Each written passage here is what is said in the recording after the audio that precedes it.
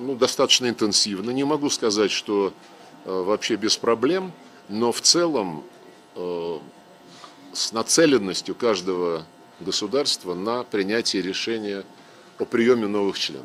Вес, авторитет, значение э, той или иной страны претендента на членство и, конечно же, ее позиции на международной арене, потому что все Объединенные Арабские Эмираты, Аргентина, Эфиопия, Иран и Алжир, Арабская Республика Египет, я прошу прощения.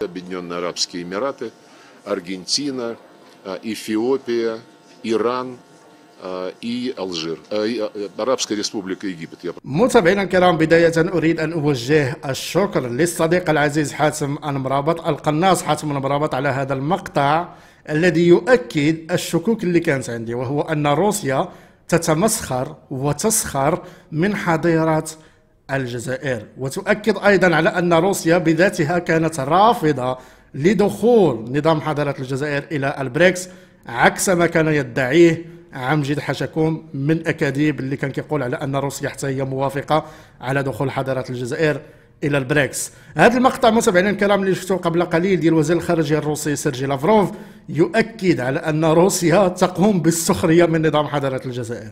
النقطة الأولى اللي تحدث عليها وهي تحدثنا عليها في فيديو سابق وهو أن سيرجي لافروف كيقول لك على أن من بين المعايير لقبول عضويات دول جديدة في البريكس وهو وزن الدولة وهيبة الدولة على الساحة الدولية وهناك يقصدوا بشكل مباشر نظام حظيرة الجزائر. هذه الرسالة موجهة بشكل مباشر لنظام حظيرة الجزائر دون غيرها.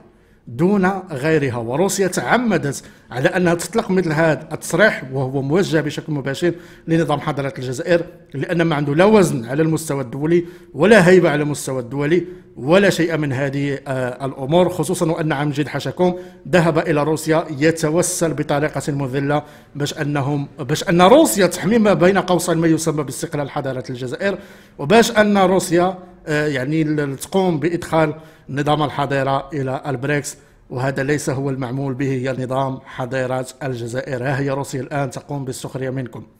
النقطة الثانية متابعينا الكرام كما سمعتم سيرجي لافروف تعمد على أنه يذكر اسم الجزائر في لائحة الدول المنضمة للبريكس قبل أن يقوم بتصحيح خطئه. لاحظوا يعني كيف قام ب يعني سرد لائحة الدول الجديدة المنضمة إلى البريكس وجا حتى الأخر وقال الجزائر ومن بعد صحح الخطأ ديالو وقال لا ماشي الجزائر جمهورية مصر العربية. نعم هذه ماشي زلة لسان وليس خطأ. هذا تعمد آخر من الروس باش أنهم يقوموا بالسخرية من نظام حضيرات الجزائر. نعم روسيا اللي كنقول عليها البصبعي الفقر اللي كنقول بأنها حليف استراتيجي لنظام حضيرات الجزائر. تقوم بالسخرية منكم. حتى هي رافضة على أنكم تدخلوا للبريكس وهي الآن تقوم بالسخرية منكم وتقول على أنكم ما عندكمش هيبة وما عندكمش وزن على الساحة الدولية وبالتالي ما عندكم ما ديروا في البريكس. سيروا تقشروا البطاطا اللي عندكم شي بطاطا وسيروا قلبوا على العدس اللوبيا لأن هذا هو الوزن ديالكم الحقيقي على المستوى الاقتصادي وعلى المستوى الدبلوماسي وعلى المستوى الدولي. الوزن ديالكم هو وزن العدس والوزن ديال اللوبيا. وبالتالي آه، روسيا كتقول لكم ما عندكم ما ديروا في البريكس وما عندنا ما نديروا بكم سيروا في حالتكم. متابعينا الكرام أراكم في فيديو قادم.